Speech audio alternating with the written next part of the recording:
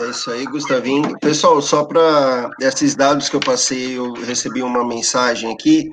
É, esses dados é do CIES, tá? Quem quiser encontrar, ele está ali um estudo que mostra é, para onde que os principais atletas estão saindo do mundo e os países que mais exportam os atletas no mundo também. Aí é Brasil, França, Argentina e Uruguai. Eu falei de Argentina e Uruguai pelo tamanho da população, são populações muito menores do que a do Brasil e que eles também têm uma capacidade muito grande de exportação de atletas, assim como a Colômbia, que recentemente também começou a vender atleta para todo mundo, o Equador também. Então, aqui é uma fonte inesgotável de atletas, o Brasil, Argentina, Colômbia, Uruguai. Agora nós estamos vendo esse trabalho lá no Equador também.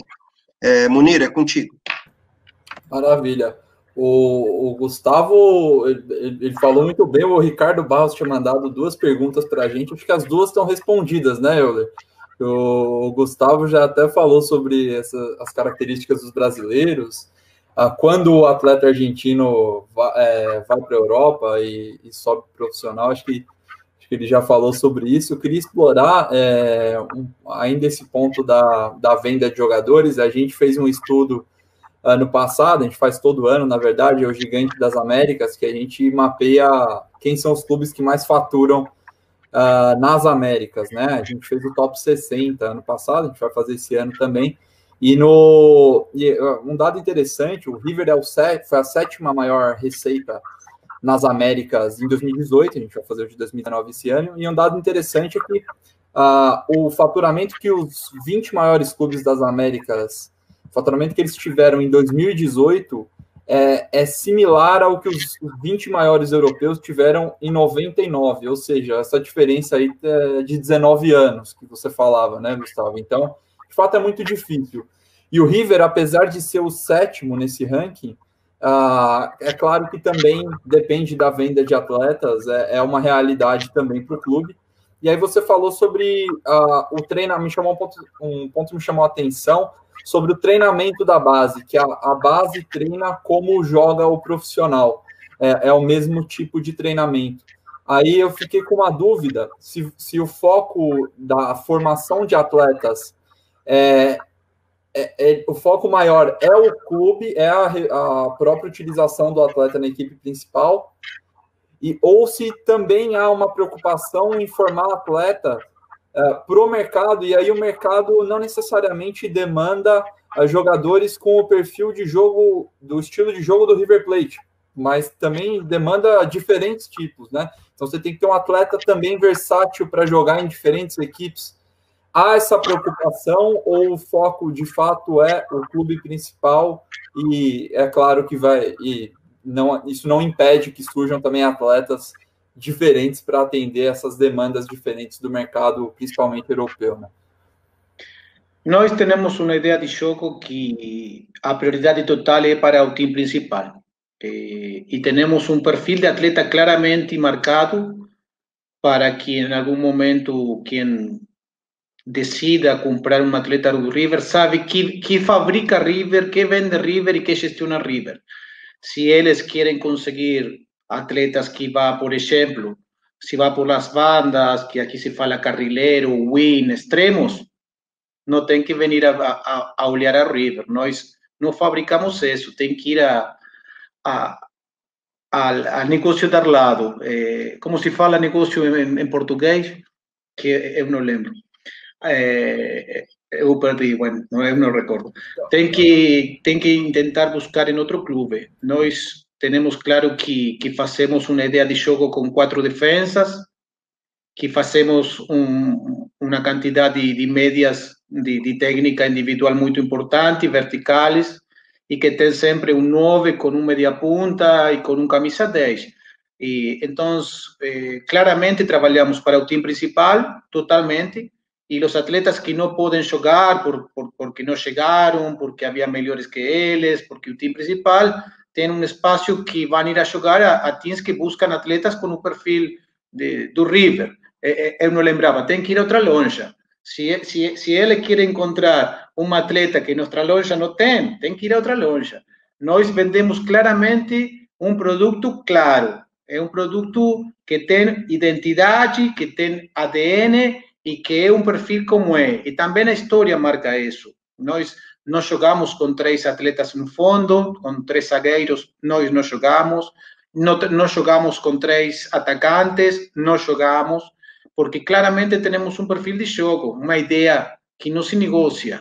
Então, a prioridade é que o time principal respeite a ideia histórica do clube, que tenha a glória deportiva, e depois, a segunda prioridade, a segunda, é que os clubes do mundo podam comprar atletas, mas sempre vão ter que comprar atletas que o clube decide fabricar. Nós não trabalhamos para para assistir ao clube do mundo, trabalhamos para competir com os clubes do mundo. Nós não trabalhamos pensando, não, eu vou, vou, vou ter um grande atacante por direita porque se lo vou a vender ao Bayern Munich. Não, eu, eu quero ganhar ao Bayern Munich. Ao final de, do campeonato mundial do clube. Eu quero ganhar, eu não quero vender a ele meu melhor atleta. Se ele tem muito dinheiro, seguramente eu não vou poder resistir, está bom, mas não é o principal objetivo do projeto, nem tampouco o principal objetivo do clube. É, e o produto é bom, né, é, o produto é bom, é esse é o problema. E a história indica é isso, a história indica que, que, que os atletas que han passado por a base do River, em toda a história, han sido os mais destacados na Europa, a maior quantidade de atletas da seleção argentina. É, é um clube claramente que faz um produto, eu entendo, 100% sul-americano, que é o que o mundo busca.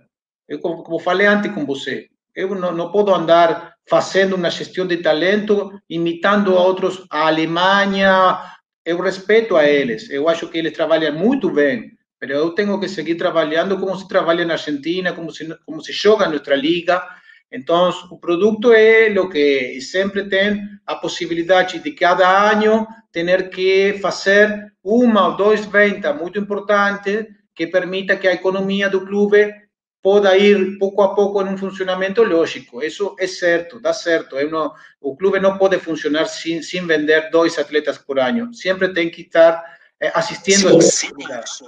Então, isso sucedeu os últimos seis temporadas o clube transferiu atletas de 10, 15, 20, 25 milhões de euros ao primeiro mundo, pero foi reemplazando seus atletas por a mesma característica de, de aquele que, que, que foi embora, né? Perfeito. A gente olhar o camisa 10 do River, o peso é gigantesco, né? A gente lembrar de Armar, Ortega, D'Alessandro, é uma quantidade aqui, se a gente for ficar falando infinita de atletas ali que saíram. E minha pergunta é até um pouco sobre isso, né, Gustavinho, porque é um problema que nós temos no Brasil. Algum tempo atrás, nós tivemos o Ganso e ele foi superdimensionado. Hoje é uma realidade que a gente olha para o Ganso e sabe dos problemas que ele, que ele teve físico e até de jogo. É, tem até uma cena que é emblemática no futebol brasileiro, que é uma entrevista em um programa esportivo onde o, o Sidorf é perguntado sobre o Ganso jogar na Europa e ele fala que dificilmente ele jogaria porque ele não foi preparado para jogar na Europa. E ele fala, é, debatendo com os repórteres, e ele explica porque o Ganso era muito devagar e o River parece que já forma um atleta com esse perfil, que é do clube, mas que se encaixa muito bem, que é naquele 4-3-1-2, que é a formação ideal do River, que sempre joga e eu gostaria que você falasse sobre isso, Gustavinho, sobre esse processo de formação do 10, que é algo que está no DNA do clube e que vocês nunca deixaram de fazer. É um trabalho contínuo que vocês fazem em todas as categorias. O camisa 10 hoje tem que correr, tem que ser forte de mente, ter que pensar e tem que jogar. Tudo isso tem que fazer, mas principalmente tem que jogar. É, o principal que nós podemos fazer com um camisa 10 é que ele não pode entrar em zona de conforto. Aqui no River, aquele atleta que não corre, não joga, tá? Ele pode ser muito talentoso, mas tem obrigações mínimas, elementares, defensivas também para fazer. Pode ser que em algum momento tenha que jogar de média para a direita, de média para a esquerda. A vezes nós jogamos 4-1, 3-2, com três camisas 10 pero eles sabem que podem jogar com liberdade, com criatividade, pero que tem que também trabalhar, tá? Isso de, de criança se trabalha com eles. Nadie vai quitar que ele possa fazer um contra um, que pode ser mágica para adelante, que pode jogar, o principal, mas ele tem que trabalhar. Então, essa mentalidade que, que, que hoje tem o River com os últimos camisas 10 que também tem, se você vê da Alessandro, que você nombrou, é um camisa 10 que tem caráter, ele joga, ele corre, ele tem temple, por exemplo, para dar eh, um exemplo, o Piti Martínez, que nós vendimos também, são todos atletas que têm muita criatividade, que são camisa 10, mas que sabem que há que ter o caráter de também trabalhar para o time. Então, isso, essa transformação o River trabalha muito sobre isso desde criança. Não há nadie que vaya caminhando por o campo, porque não. Pero, a diferença de outros clubes, nós jogamos também para ele. Nós temos um plano para que o camisa 10 possa lucir.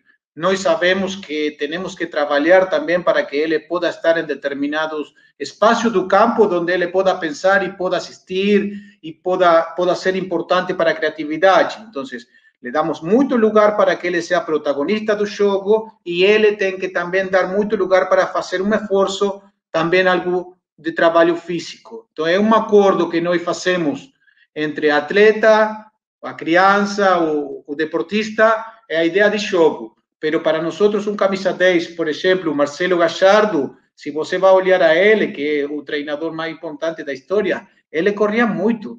Ele pensava, ele jogava, pero se ele tinha que trabalhar e venir a marcar um média e trabalhar para um costado, ele corria hasta a metade do campo.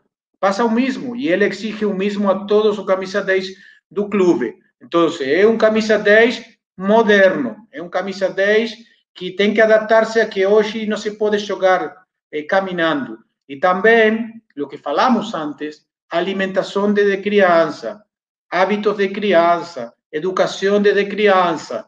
Tudo isso se forma no tempo. Você não pode agarrar um atleta de 17 anos que ele vem de jogar a taça da favela, tá? Porque eu conosco algo daí, um pouco conosco.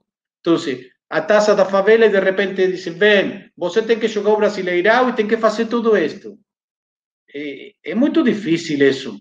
Isso tem que iniciar de criança, de 10 anos, 12 anos, 14 anos a formação desse hábito, a formação de seu lugar no futebol, ela que vai dando-lhe claridade a, a los atletas para poder rendir. Eu acho que é assim. Depois, Brasil se ocupa de prender fogo todos os livros de futebol se prendem fogo no Brasil, porque o Brasil sai um prodígio, sai um atleta, sai o Pepe, sai, sai de tudo. Está muito bom, mas é um, nada mais que um. O resto somos pessoas normais tem que ter um projeto, tem que ter uma planificação de coisas que tem que suceder para que eles tenham sucesso.